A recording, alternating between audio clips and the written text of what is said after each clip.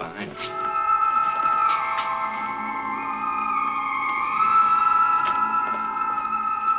Dr. Ryan. Dr. Ryan. Dr. Gordon, I think we found the solution. What can we do? I'll show you. Electricity. We have already thought of that, Dr. Ryan. But any kind of electric shock strong enough to kill the amoeba will also kill Tom. I know. Then how? We've been attacking the alien amoeba as if it were a disease, but it isn't. It's an animal. An animal with instincts. And most important of all, a will to act. It only makes it harder to destroy. And gives it a vulnerability we also have. That of making a wrong choice.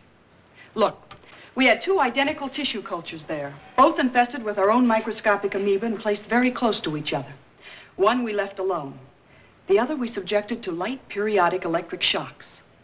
Before long, all the amoeba on the irritated culture had made their choice. They moved to the nearby undisturbed culture.